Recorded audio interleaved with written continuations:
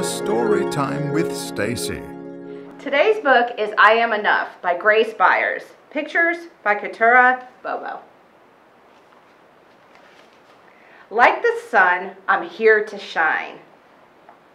Like the voice, I'm here to sing. Like the bird, I'm here to fly and soar high over everything. Like the trees, I'm here to grow. Like the mountains, here to stand. Like time, I'm here to be, to be everything I can. Like the champ, I'm here to fight. Like the heart, I'm here to love. Like a ladder, here to climb, and like the air, to rise above. Like the wind, I'm here to push.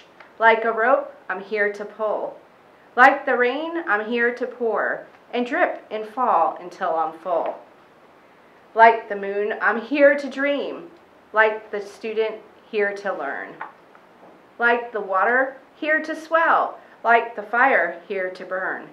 Like the winner, I'm here to win, and if I don't, get up again.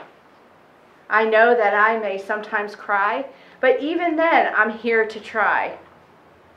I'm not meant to be like you. You're not meant to be like me. Sometimes we get along, and sometimes we will disagree. I know that we don't look the same our skin, our eyes, our hair, our frame. But that does not dictate our worth. We both have places here on earth. And in the end, we are right here to live a life of love, not fear. To help each other when it's tough. To say together, I am enough.